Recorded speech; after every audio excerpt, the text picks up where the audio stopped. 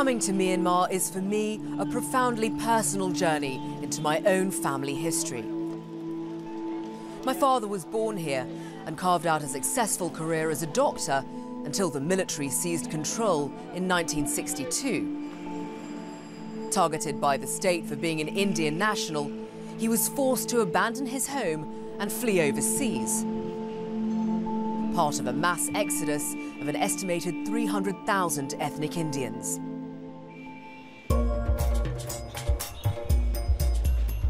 Modern-day Myanmar is still racked by ethnic divisions, but life here is transforming. One of the biggest changes is in free speech.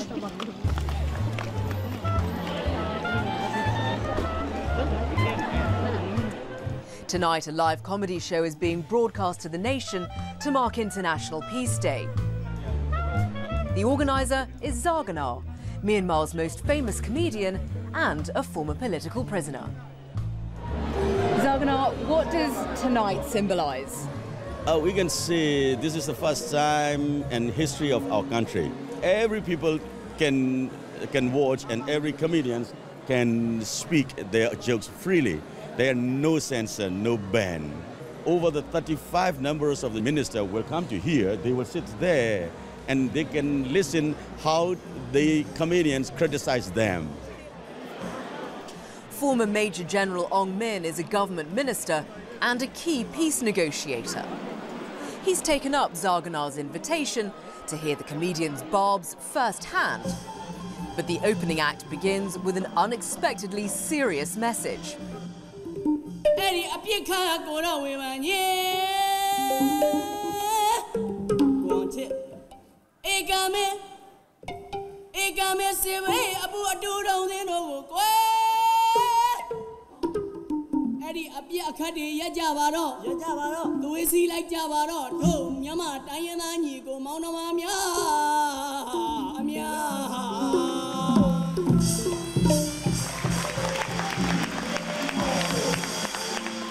The jokes that follow take aim at the government's economic mismanagement, the soaring price of living, and widespread corruption.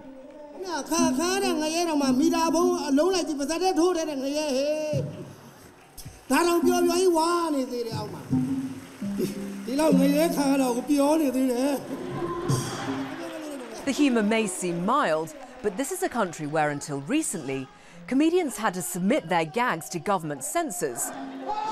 Tonight, even the minister is laughing along.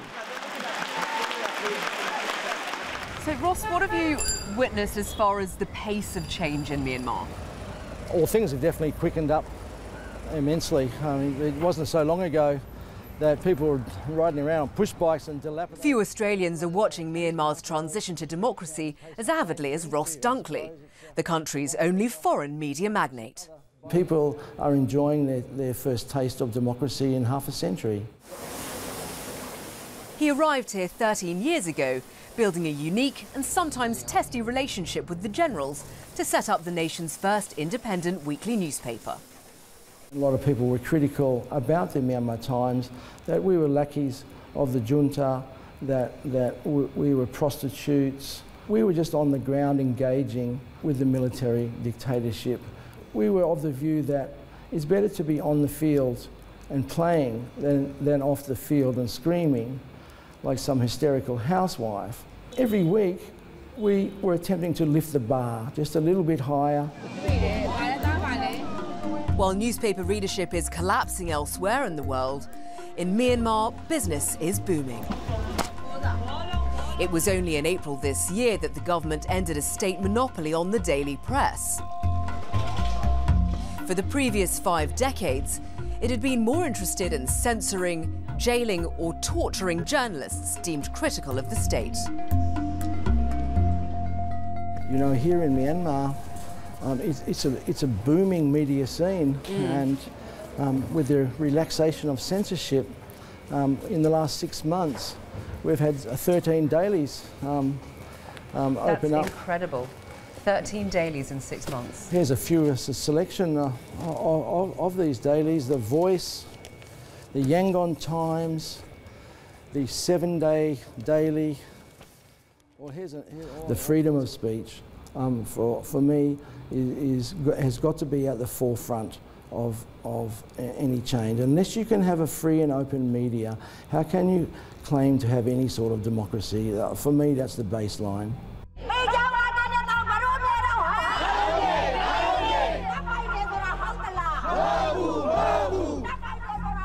This protest is about one of the most contentious issues in the new Myanmar, land grabs by the country's former military rulers. Just a few years ago, a gathering like this would never have been tolerated by the authorities.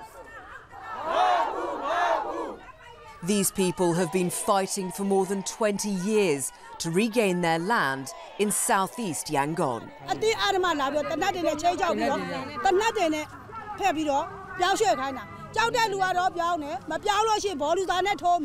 အတင်းအဓမ္မလာပြီးတော့တနတ်တွေနဲ့ချိန်ချောက်ပြီးတော့တနတ်တွေနဲ့ဖက်ပြီးတော့ပြောင်းရွှေ့ခိုင်းတာကြောက်တဲ့လူကတော့ပြောင်းတယ်မပြောင်းလို့ရှိရင်ဘောလူသားနဲ့ထိုးမယ်မပြောင်းဘူးတော့နေတဲ့လူကိုအစိတ်ထောင်ကိုပို့တယ်အဲ့လိုမျိုး A thousand families lost their homes. It's the kind of injustice we hear again and again. မရပါဘူးအခုမှပြောရဲဆိုခွင့်ရှိလို့ပြောတာပြောတာဒီတမရကြီးနဲ့နိုင်ငံတော်တမရကြီးအားလုံးအစိုးရအဖွဲ့တွေကလည်းပြန်ပြီးတော့ကိုယ်တွေဘက်ကိုငဲ့ကြည့်မယ်လို့ထင်တယ် ထင်လို့လည်းတောင်းနေတယ်ရဲရဲဝံ့ဝံ့လည်းတောင်းဆိုနေတယ် Under draconian old laws still in place, demonstrators can face hefty jail sentences simply for protesting without permission. In this case, the authorities had agreed, but protesters were being closely watched. Around the corner, we found four truckloads of police ready to react to any trouble.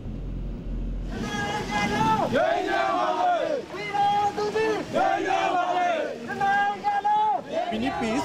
Because of the 2008 constitution, we have so many problems we have so many conflict in our country. For activists like Generation Wave leader Ko Moe Thwa, political change hasn't made life much easier. Last year, he led a peace rally without getting permission. He and eight other organisers now face up to 20 years in prison and a grueling trial process that's more like a full time job. How many times have you been to court? Uh, I think more than 130 times we have been in the court. More than 130. Yes. Yeah, 130. Wow. Yeah. How do you view this particular government?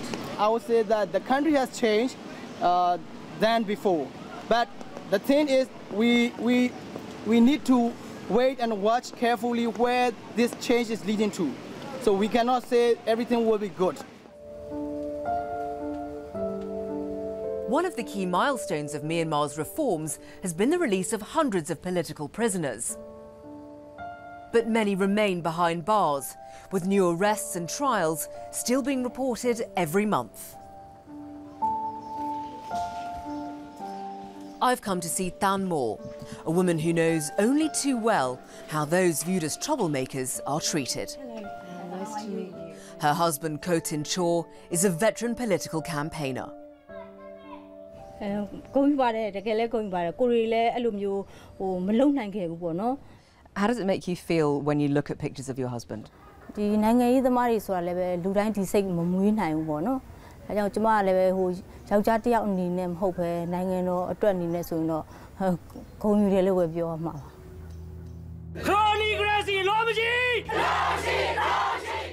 At a protest three months ago, he planned to make a citizen's arrest on a businessman he accused of land grabbing, but he ended up in custody himself. Charged with insulting the state, he faces two years in jail. ဆိုရကပြည်သူလူထုရဲ့ဒုက္ခတွေကိုအမြန်ဆုံးဖြေရှင်းပေးပါဒုက္ခရောက်နေတဲ့ပြည်သူတွေကိုမျက်ကွယ်ပြုမယ်ဆိုရင်အဲ့ဒီလိုအစိုးရမျိုးဒီမိုကရေစီအစိုးရလို့မဟုတ်ဘူးခရိုနီတွေကိုကာကွယ်ပေးနေတဲ့ခရိုနီကရေစီအစိုးရလို့ပဲကျွန်တော်တို့ဒီလိုသတ်မှတ်တယ် Than Moore is three months pregnant and is now faced with bringing up her baby alone. အဲကြောင့်အခုနိုင်ငံတော်ကပြုပြင်ပြောင်းလဲနေတယ်ဆိုတာဟိုဒီထင်သာမြင်သာရဲ့လို့ ပြောလို့မရဘူးလို့ကျမတို့ကတော့ဒီလိုပဲသုံးသပ်ပါတယ်ဟိုအရင်ကဒီမိုကရေစီအော်တဲ့လူတိုင်းကိုထောင်ထဲထည့်တယ်အဲအခုအစိုးရကိုယ်တိုင်အော်နေတဲ့အဆင့်လောက်ပဲရှိတယ်လို့ကျမတို့ကတော့အဲ့လိုပဲမြင်ပါတယ်ဟိုအရင်ဆိုရတဲ့ဆိုင်တော့ဟိုကျမတို့10ရာခိုင်နှုန်းလောက်တော့ကောင်းတယ်လို့တော့မြင်ပါတယ် Talkie Shell and Bobo are former political prisoners. Between them, they've racked up 30 years in jail. Faced with the difficulties of life on the outside, they set up Golden Harp, a taxi company with a difference. Hi. Can I hop in? Thanks. There's a deep stigma attached to being a political prisoner in today's Myanmar. It's hard to find employment or to be accepted by society. ဝရဟကရည်ရွယ်ချက်ကိုကလွန်မြောက်လာတဲ့နိုင်ငံရေးအကျဉ်းသားတွေကို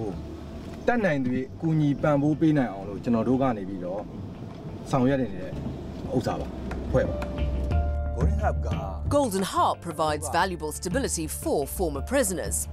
But it also gives drivers like Shell a chance to educate their mainly foreign passengers. စိတ်ဝင်စားတဲ့အခါမှာကျွန်တော်တို့ကသူတို့သိအောင်သူတို့ကိုကျွန်တော်တို့ပြောပြတယ်။ဘာတွေပြောပြလဲဆိုလို့လို့ရှင်အရင်ဆိုရရဲ့မတော်မတရားမှုတွေ မှားယွင်းနေတဲ့ဥစ္စာတွေအားလုံးကိုကျွန်တော်တို့ကအပြုသဘောဆောင်တဲ့ဘက်ကနေပဲပြောပြတာ We're on our way to a place well known to employees of Golden Harp, Yangon's sprawling Insein prison. notorious for the mental and physical torture inflicted on its inmates.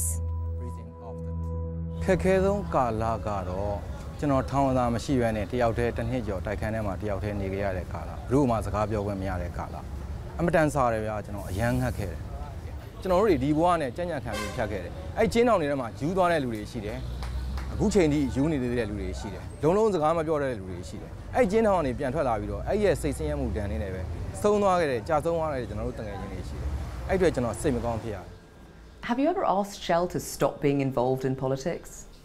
Sometimes I would like him to stop, but he he doesn't want to stop. Shell's wife, Luin Ma, says, like everyone in Myanmar, all they want is a life free from oppression. But even now, the couple are worried that Shell could be arrested at any time. Even nowadays, I was worried for his health because he was mentally or physically tortured for nearly 14 years. Do you still see evidence of all that time that Shell spent in prison? Sometimes he doesn't want to stay alone at all because he thought he will be captured. So he always tried to go out if I was not at home. Oh my goodness. because he was locked in there, isolated for the many, many years. This is our life. We cannot stop it. Me and my girls, me and my girls. Me. It's the younger generation who are lapping up new freedoms and pushing boundaries. It's okay. I think it's space for a large. Oh my god, no. None more so than the Me N Ma Girls. Me and my girls, my girls. Modelled on Britain's Spice Girls, they're the country's first all girl group. And today they've invited me to their Yangon studio to watch a rehearsal for their latest single. I am girl strong, gotta stand tall, baby. This is my world, nothing's gonna shake it. We girls stand for like everybody who are sad, who are down, and who feels unhappy about their life because now everything is changing and it starts to change right now. I'm stronger now, so it's goodbye. The Me N Ma Girls are out to smash the stereotype that women in Myanmar are timid and modest. But breaking the mould has its challenges, even for a pop band. That's perfect. In the past, the girls have had their lyrics and their fashions censored by the state.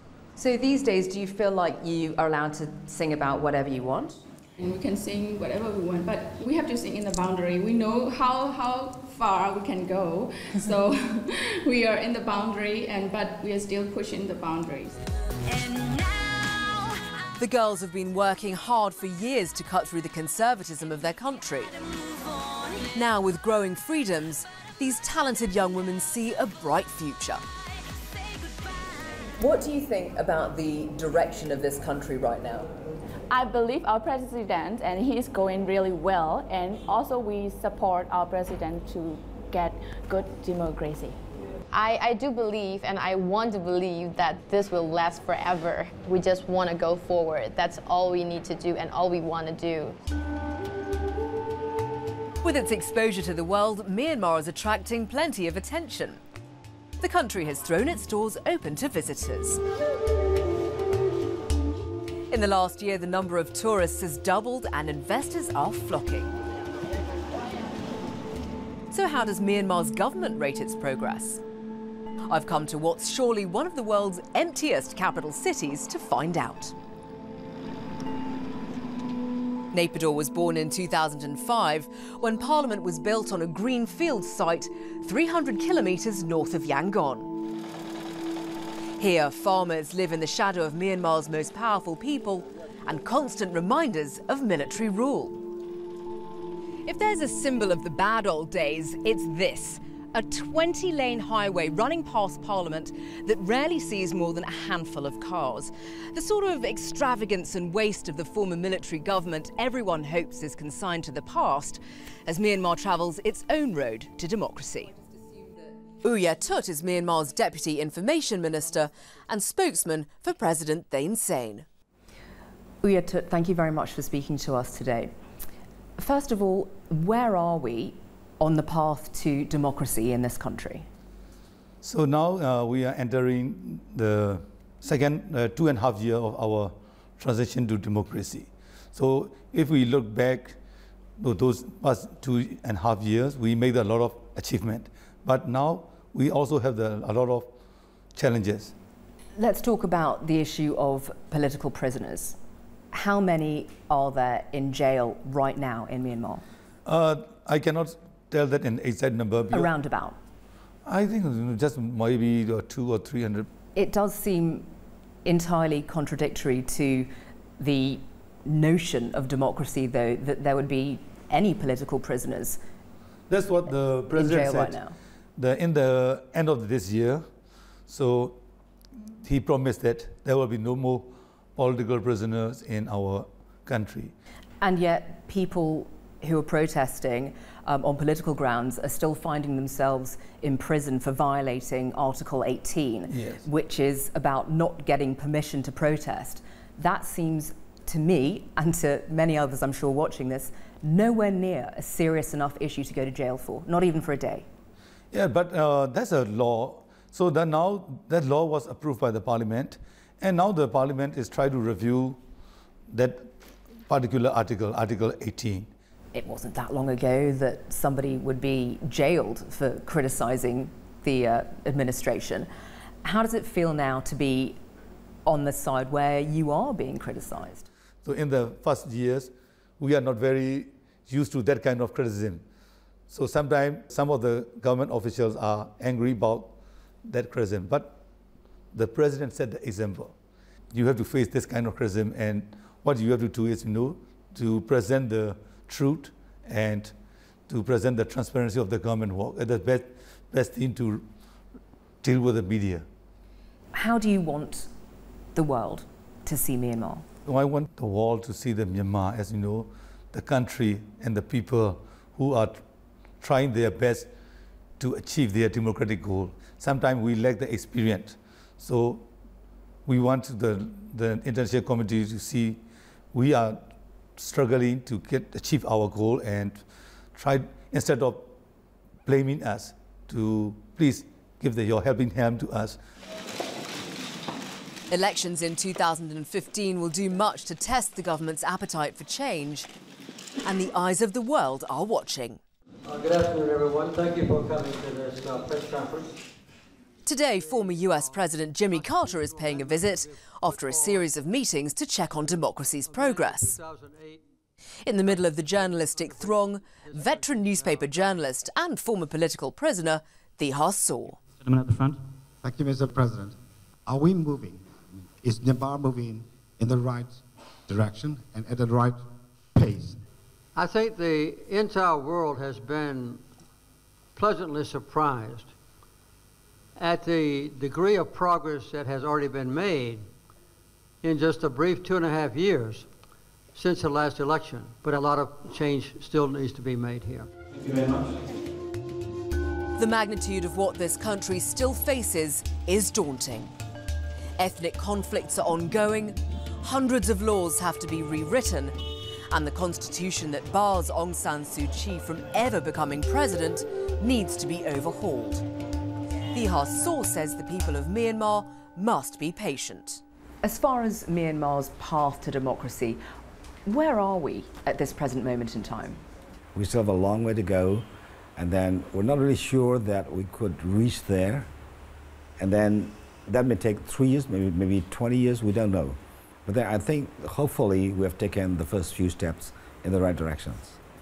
Sometimes we lack of experience and lack of human resources and lack of financial and technical knowledge is a problem on our process.